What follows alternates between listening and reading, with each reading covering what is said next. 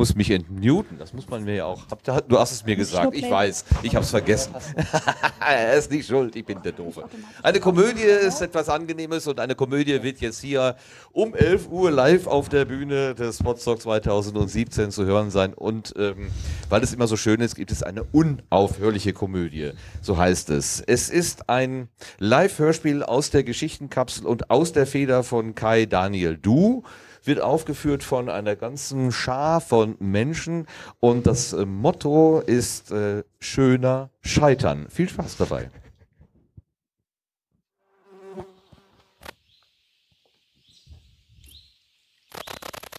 Schaden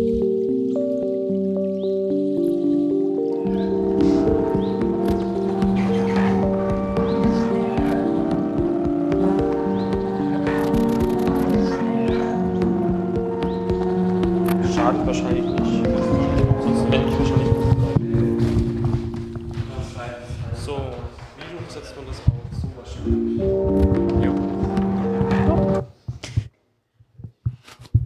Ja, äh, herzlich willkommen. Bevor wir gleich anfangen zu spielen, wollen wir noch zwei Worte zur Geschichtenkapsel sagen.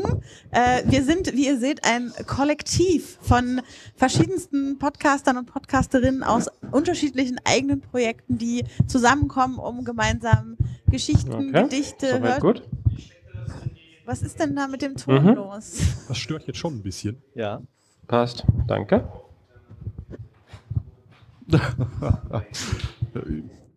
Was? Kann das, wir hören euch. Bla bla bla. Ich habe das Gefühl, das rutscht mir nach hinten runter. Ja, Was das ist denn- Gefühl haben wir auch. Ja, Wer redet Brille denn steht da? Stimmen aus dem Off. Hört ihr das auch? Irgendjemand hat drin ein Mikrofon, was bei uns zu hören ist.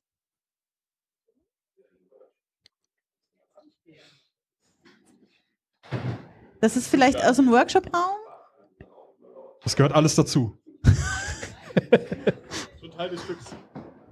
Ihr habt auf eurer Seite einen Bach. Nee. Ja, auf der anderen Seite dafür die Grillen. Zim, zim, zim, zim. Schöne Regelmäßigkeit. Also heute Nacht um zwei, als ich versucht habe zu schlafen. Ja. ja. Das passiert, Wer wenn man die Ströme kreuzt. Ta Ta wir haben notgedrungen hier die Upload-Internetleitung durch unser Zimmer liegen und deswegen haben wir beide Seiten Türen offen, was es vor 2 Uhr unmöglich macht zu schlafen und äh, morgens auch irgendwie schwierig. Aber dadurch ist die Tür offen zum Garten. Exakt. So, machen wir das ein bisschen so. Und was machst du jetzt? Das lassen wir drin, oder? Ich finde, das gehört dazu. Das ist Atmung.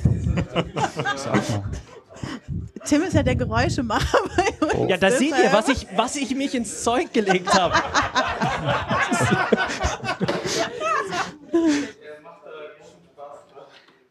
Vielleicht noch was zur Geschichtenkapsel. Das ist ja hier nur ein Bruchteil der Geschichtenkapsel. Das ein, meiste ein spielt da drin, ne?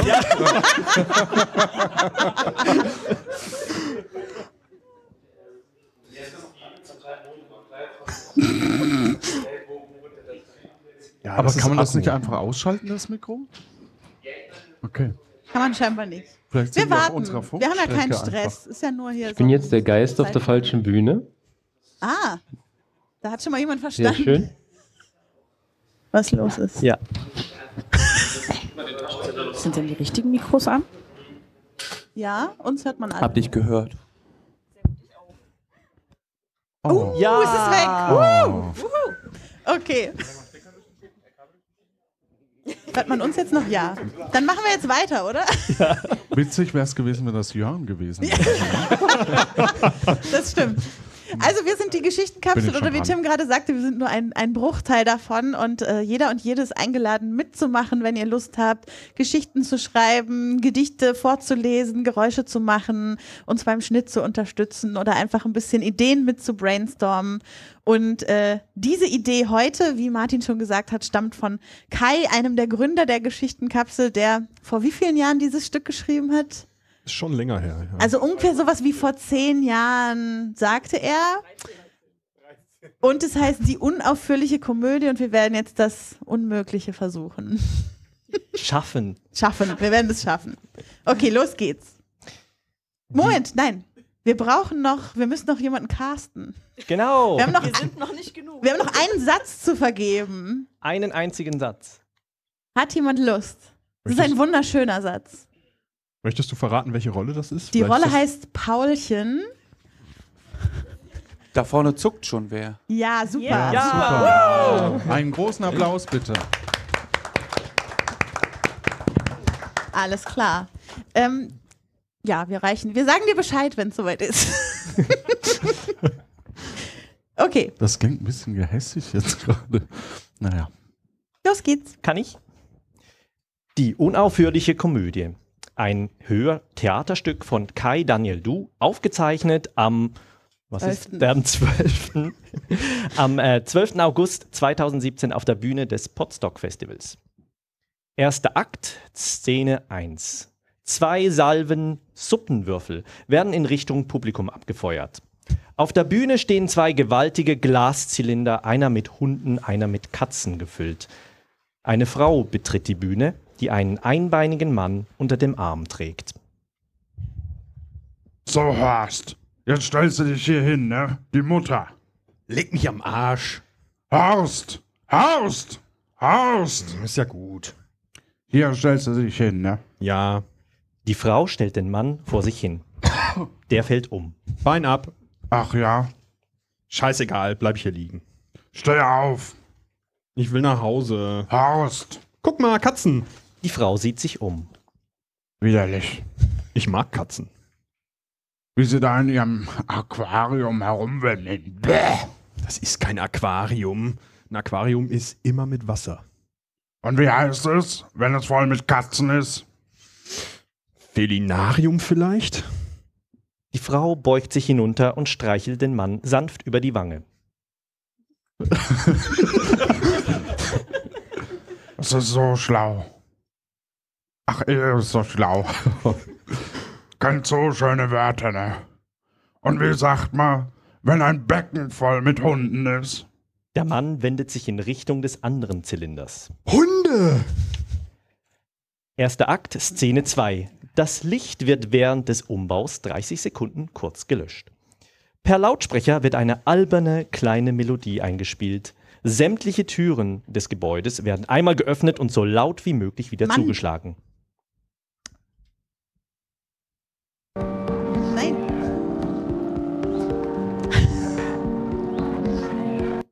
Das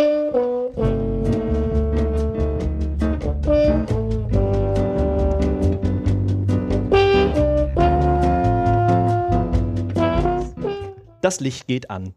Ein Wohnzimmer mit zwei Sesseln, einer Couch, einem Couchtisch, einem kleinen Tischchen, auf dem ein Fernsehapparat steht.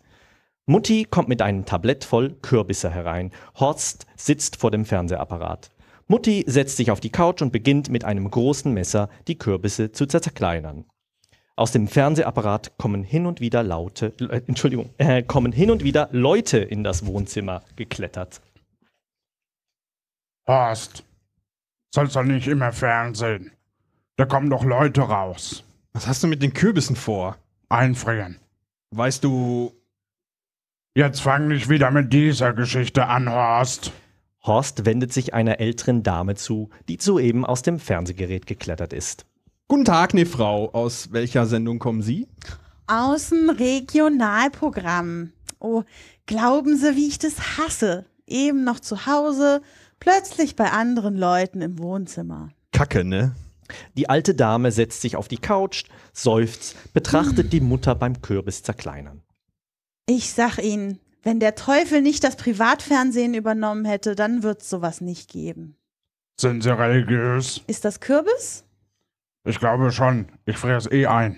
Das hat nichts mit dem Teufel zu tun, Werteste. Ich habe in einer wissenschaftlichen Zeitung gelesen, man hätte ein Verfahren zur gezielten Beeinflussung der Wirklichkeit gefunden.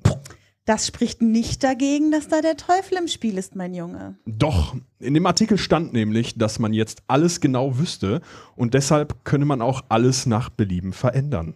Blödsinn. Aber Man sieht zwei Beine aus dem Fernsehgerät ragen, die hilflos hin und her strampeln. Horst, hilf doch bitte der jungen Dame da aus dem Fernsehapparat zu klettern. geht nicht. Bein. Ach ja. Die junge Dame klettert aus dem Apparat. Äh, Dings. Sie sind doch. Ja. Das ist aber mal was. Mutti, schau mal, das ist. Könntest du bitte den Fernsehapparat ausschalten? Wir haben gerade genug Gäste. Ist gerade das passiert, was ich glaube? Kommt drauf an. Setzen Sie sich doch bitte. Ach, äh, wissen Sie, ich. Ähm, setz dich hin, Mädel. Meistens bemerken, bemerken die eh innerhalb einer Viertelstunde, dass sie fehlen und dann kommen, holen sie dich wieder zurück. Haben Sie sowas öfters? Ja, wird immer schlimmer. Haben Sie die zwei großen Glaszylinder im Stadtpark gesehen? In meiner wissenschaftlichen Zeitschrift stand ein Artikel, dass Sie. Es klingelt an der Tür. Ah, Horst, machst du bitte mal die Tür auf? Bein. Ach, jetzt stell dich doch nicht so an. Horst schnappt sich seine Krücken und macht sich auf den Weg zum Flur. Kürbis, nicht wahr? Ehrlich gesagt war heute die ganze Zeit im Treppenhaus äh, voll daneben. Da, voll davon. voll, voll. Ja, ich bin ein bisschen aufgeregt als Mutter. Ehrlich gesagt war heute das ganze Treppenhaus voll davon. Ich denke mal, wenn es nichts kostet, kann man ja was davon einfrieren. Würde es Sie stören, wenn ich mir ein paar für zu Hause mitnehme? Nee, nee, aber beeilen Sie sich. Die Leute vom Fernsehen müssten eh bald da sein. Die alte Dame springt auf und verschwindet in Richtung Flur. Kurz darauf kommt Horst zurück. Und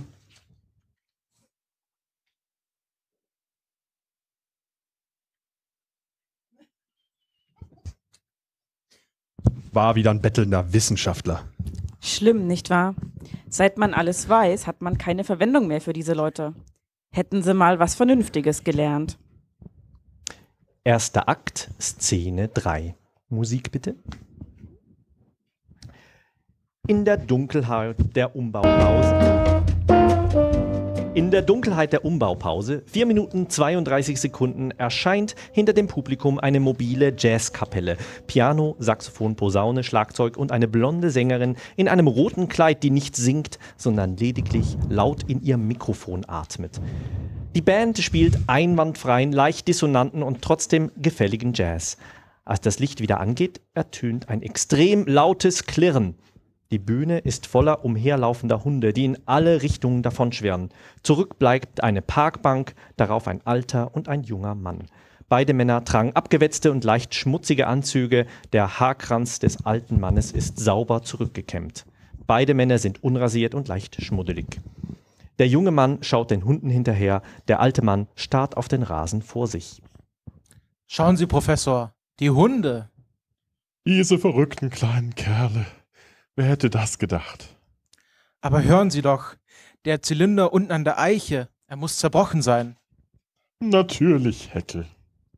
Aber unser Projekt, Professor, das Experiment ist damit gescheitert. Ich frage mich, ob die kleinen Biester sich selbst befreit haben oder ob da jemand nachgeholfen hat. Ach, das spielt doch überhaupt keine Rolle mehr, Heckel.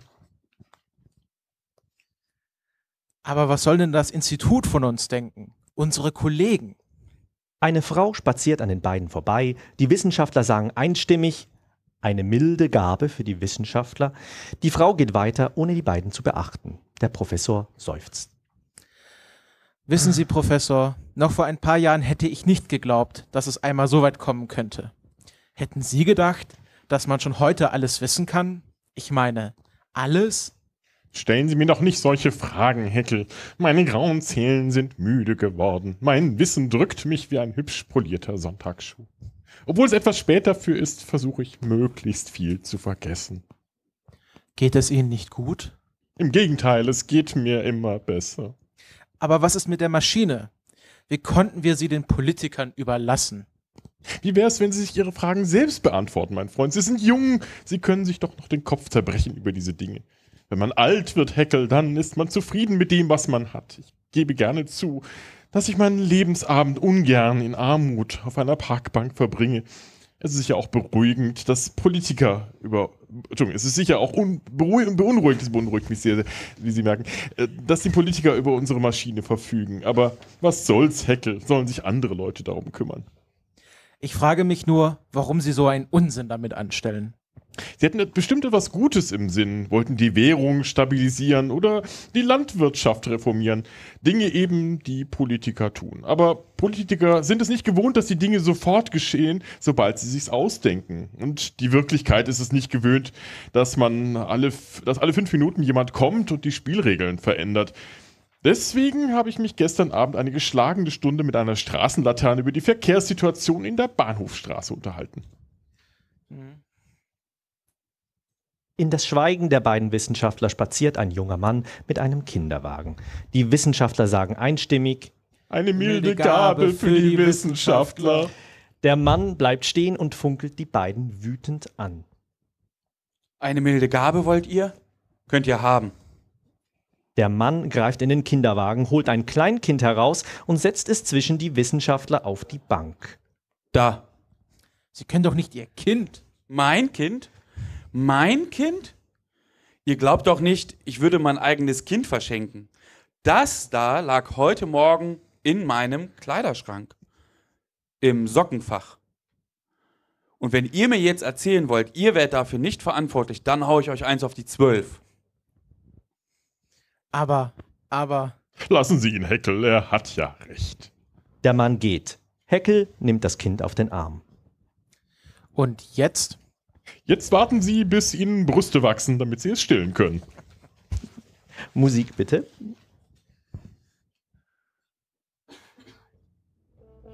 Zweiter Akt, Szene 1. Während des Umbaus in der Dunkelheit geht auf der einen Seite des Zuschauerraumes eine Frau umher und verteilt Würstchen. Auf der anderen Seite geht ein Mann umher und verteilt Brötchen. Verschiedene Personen im Publikum stehen auf und fragen laut, ob jemand zufällig eine Tube Senf dabei hat. Eine Frau steht auf und verlässt weinend den Zuschauerraum. Im Licht der Bühne ist ein Schreibtisch zu sehen. Ein Mann in einem Anzug steht am vordersten Rand in einem Lichtkegel. Sehr geehrte Bewohner meines Planeten, ich spreche zu euch als der erste und einzige Mensch, der es geschafft hat, alle Länder in Frieden zu vereinen und zu regieren. Sämtliche Probleme, die in der Vergangenheit zu größeren und kleineren Konflikten geführt haben, werden in absehbarer Zukunft für immer und ewig gelöst sein. Im Hintergrund taucht eine Frau auf. Und sämtliche Probleme, welche bei der Lösung der Probleme aufgetaucht sein mögen, werden ebenfalls, und da möchte ich keinen Zweifel aufkommen lassen, nein, Moment, wir werden ein besseres Morgen die Frau zieht eine Pistole und schießt auf den Mann. Der greift sich ans Herz und erstarrt in Schrecken. Für einen Moment scheint es, als würde er zu Boden sinken, dann dreht er sich langsam um. Fräulein Kruse, müssen Sie mich so erschrecken? Ich, ich. Fräulein Kruse lässt sich niederschlagen, aber elegant auf der Kante des Schreibtisches nieder. Die Pistole baumelt lose neben ihr. Nicht einmal das funktioniert mehr. Woher haben Sie denn die Pistole, Fräulein Kruse? Ein Mann auf dem Flohmarkt hat sie mir verkauft. Er sagte, er hätte sie in seinem Werkzeugkasten gefunden. Ein weiterer Mann in einem Anzug betritt die Bühne. Guten Tag, Fräulein Kruse. Herr Gärtner, wie geht es Ihnen heute? Ähm, Gärtner? Ich habe in die falsche Richtung weitergeblättert. äh, ja, äh, oh, eigentlich gut. Ich glaube, Fräulein Kruse wollte sich gerade an einem politischen Attentat versuchen. Ich muss zugeben, dass ich etwas überrascht bin. Was wollen Sie erreichen? Eine Gehaltserhöhung? Kruse seufzt. Was meinen Sie, Wertmann? Könnte sie so etwas tun? Keine Ahnung. Auf jeden Fall ist ihr entgangen, dass wir die Waffengesetze reformiert haben. Erinnern Sie sich noch, als sämtliche Nationen ihre Atomwaffen auf uns abgefeuert haben? Wertmann blickt schwärmend gen Himmel. Sie kamen allesamt angeflogen. Und dann sind sie explodiert. Paff und Peng und Wumm. Ein wundervolles Feuerwerk. Ein einziges großes Neujahrsfest. Und an diesem Tag regnete es Marzipan und diese kleinen Cocktailschirmchen aus Papier. Sie müssen sich mal meine Fotos ansehen. Was macht die Maschine? Funktioniert einwandfrei. Echte Wertarbeit, Sie wissen schon. Die Umweltministerin setzt gerade einige ihrer um Ideen um. Ich hoffe doch, nichts allzu Alternatives? Nein, nein, ein paar Naturschutzgebiete, nachhaltiger Tourismus und ich glaube, sie murmelte etwas davon, dass sämtliche Verkehrsmittel in Zukunft mit Regenwasser betrieben werden können. Tatsächlich? Hm. Frau Kruse erwacht aus ihrer Lethargie und springt auf. Sehen Sie denn nicht, dass all diese Maßnahmen in einem Gebiet eine fatale Auswirkung auf ein anderes haben? Ach, Fräulein Kruse, ein paar Naturschutzgebiete. Lassen Sie die Umweltministerin ruhig mal machen. Wir haben so viel überflüssiges Agrarland, seit überall Milch und Honig fließen. Und wenn nötig, können wir etwas Land äh, aus dem Meer bereitstellen. Solche Pläne sind bereits angedacht. Kein Grund zur Aufregung. Sie verstehen mich nicht, Herr Gärtner. Sie verwenden die grundlegenden Naturgesetze. Und wenn Sie plötzlich veranlassen, dass Leberwurst auf Bäumen wächst, dann fangen auf einer anderen Stelle der Welt die Schweine an zu fliegen oder der Sand der Sahara verwandelt sich in Asbestplatten. Noch können wir diese Dinge aufhören und hoffen, dass das Universum sich an die alten Regeln erinnert. Fliegende Schweine. Ich hoffe, glaube, Sie sollten sich mal ein paar Tage Urlaub nehmen. Aber die Idee mit der Leberwurst gefällt mir. Das sollten wir dem Agrarminister vorschlagen. Oh, es ist aus dem Haut. Es, oh, es ist zum aus der Haut fahren mit ihnen. Ich, ich weiß nicht mehr, was ich tun soll. Sie treiben die Menschen noch in den kollektiven Selbstmord. Fräulein Kruse stürmt von der Bühne. Moment. Ähm, die beiden Politiker stoßen pfeifend Luft aus. Selbstmord? Was für eine hässliche Vorstellung. Keine Sorge. Warten Sie erst mal ab, was der Gesundheitsminister für Pläne hat. Zweiter Akt, Szene 2. Die Ereignisse während der Umbauphase werden dem Zufall überlassen. Im schlimmsten Fall passiert nichts. Am Ende ist wieder das Wohnzimmer von Mutti und Horst zu sehen. Mutti sitzt auf der Couch und liest in einer Illustrierten. Von irgendwoher ertönen entsetzte Schreie von Horst. Was ist denn? Hunde! Horst platzt herein, schwer atmend. Überall! Och. Horst registriert die geringe Aufmerksamkeit und beruhigt sich etwas. Er setzt sich. Haben Sie die Leute aus dem Fernsehen abgeholt? Die junge Frau, ja. Die ältere hat den Bus genommen. Scheißwelt. Horst! Ist doch wahr. Hier steht ein schönes Rezept mit Nougat. Aber Nougat magst du nicht, ne, Horst? Nee. Was ist denn? Bist so pampig gerade. Ich überleg gerade. Was überlegst du denn? Ich werde die Welt retten. Mit einem Bein? Horst funkelt sie wütend an. Sonst macht's ja keiner. Ach, schau. Prinzessin Hilde und Graf Bernhard haben in Monaco Minigolf gespielt. Arschficken. Horst! Horst steht auf und geht zur Tür. Wo gehst du denn hin, Mörchen? Welt retten. Aber um 3 Uhr gibt's Abendbrot. Zweiter Akt, Szene 3. Verfolgt von einem Spotlight rennt ein Priester durch den Zuschauerraum. Er ruft wiederholt: Gott, oh Gott, oh Gott.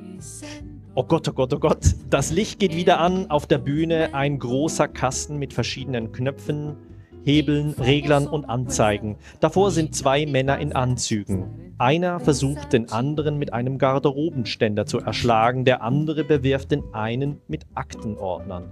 Nach einer Weile betritt Wertmann die Bühne.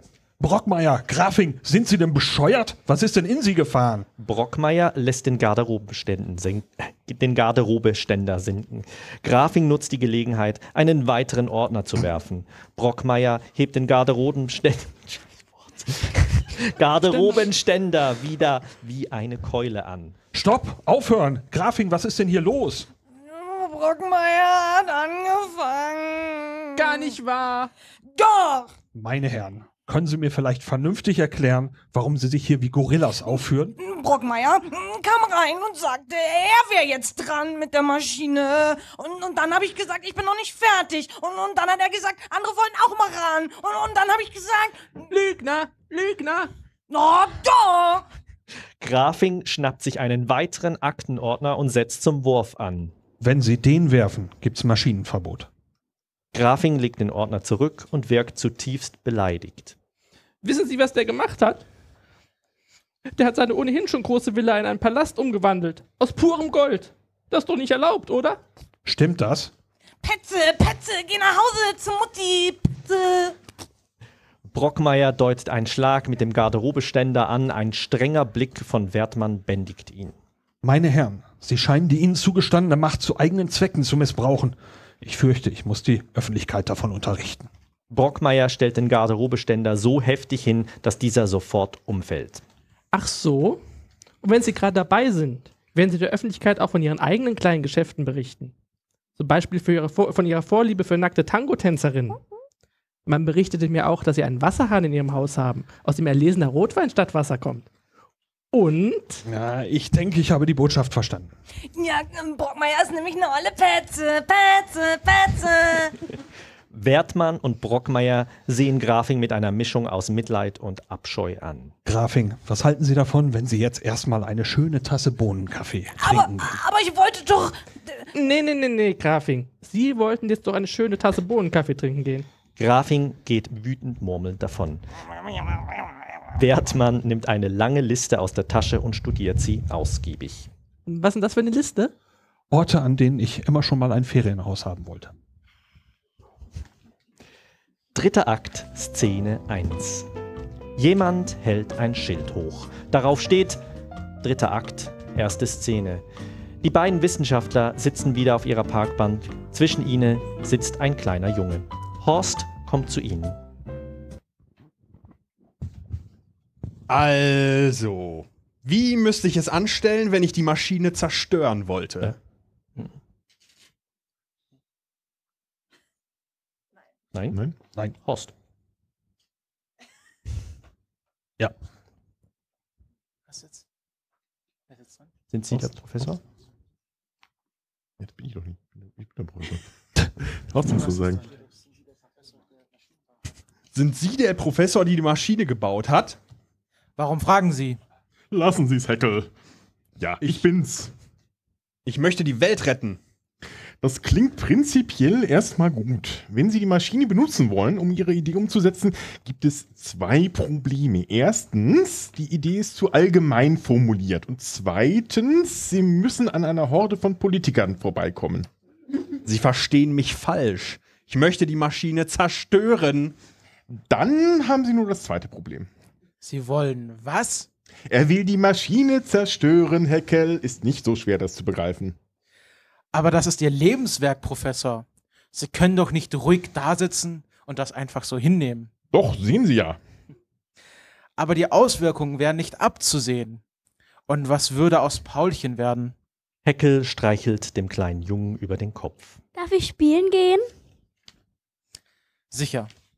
Der Junge springt auf und läuft weg. Also, wie müsste ich es anstellen, wenn ich die Maschine zerstören wollte? Sie bräuchten einen schweren Gegenstand. Einen großen Hammer zum Beispiel.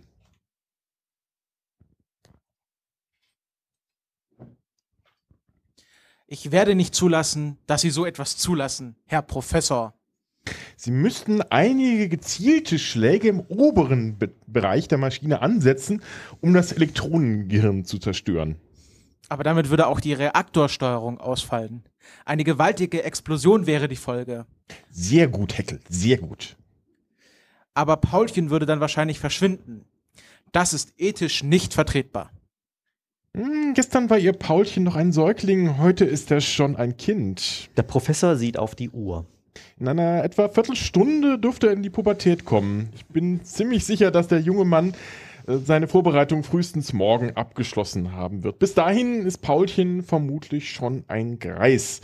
Sie können ihn sicherlich davon überzeugen, so lange zu warten, bis Sie an Paulchens Beerdigung teilgenommen haben. Bis dahin könnte sich allerdings unsere Atemluft bereits in Apfelsaft verwandelt haben. Einige Bäume in der Rathausallee beraten außerdem gerade darüber, ob sie sich entwurzeln und vandalisierend durch die Straßen ziehen sollen. Haben Sie noch Fragen, Heckel? Vielleicht sollte er lieber die Hauptventile zerstören. Dann hätte er Zeit, das Gebäude zu verlassen. Na, bitte, dann sind wir uns ja einig. Dritter Akt, Szene 2. Musik ertönt. Eine Fernsehkamera steht am Rand der Bühne.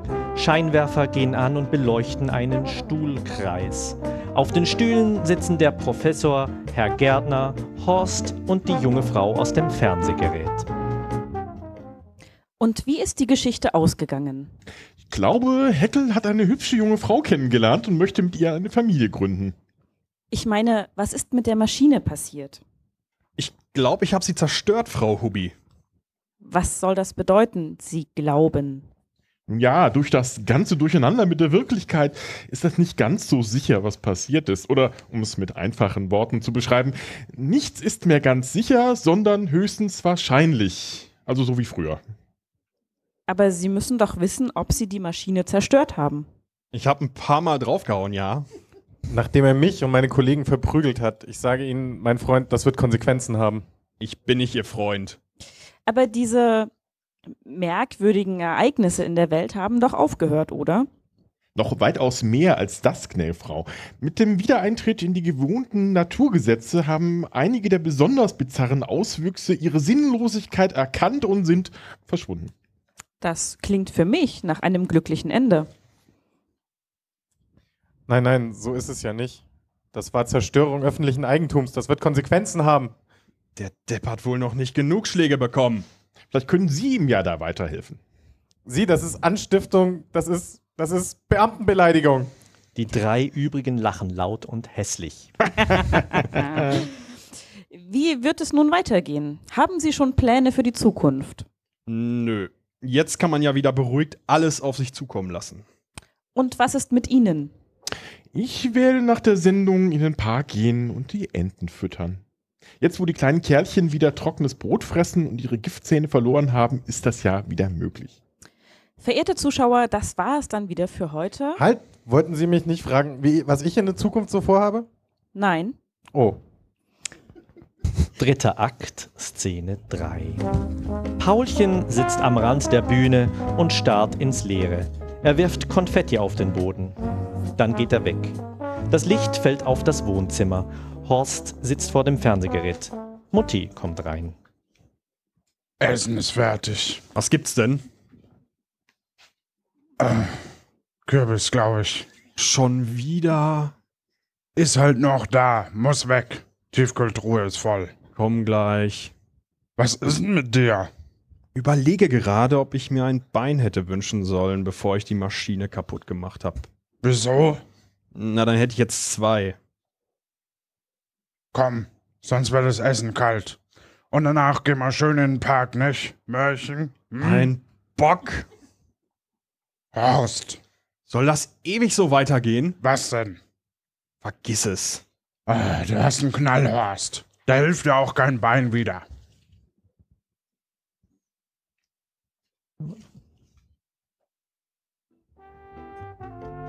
Das war das Hörtheaterstück Die unaufhörliche Komödie, geschrieben von Kai Du im Frühjahr 2004.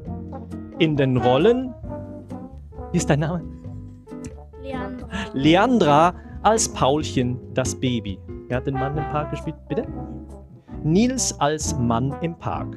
Florian Hammen als Herr Brockmeier. Tobi als Herr Grafing. Lara als Frau Kruse. Lars Naber als Herr Wertmann. Ähm, TJ als Herr Gärtner. M- Mirko Gutjahr als der Professor. Christopher van der Meiden als Heckel. Kati Frenzel als Frau Hubi. Rebecca Görmann als alte Dame. Lars Engelmann als Horst. Johannes Wolf als Mutter. Tim Süß als Sprecher. Technische Unterstützung durch das Hotstock-Team. Dieser Text wurde im Rahmen der Geschichtenkapsel auf dem Podstock Festival 2017 veröffentlicht und steht unter einer Crea- Creative Commons Lizenz. Weitere Geschichten und Informationen finden sich auf geschichtenkapsel.de. Wenn dir dieser Text gefallen hat, bewerte uns bei iTunes und sag allen, die du kennst, davon. Herzlichen Dank. Danke auch an Kai.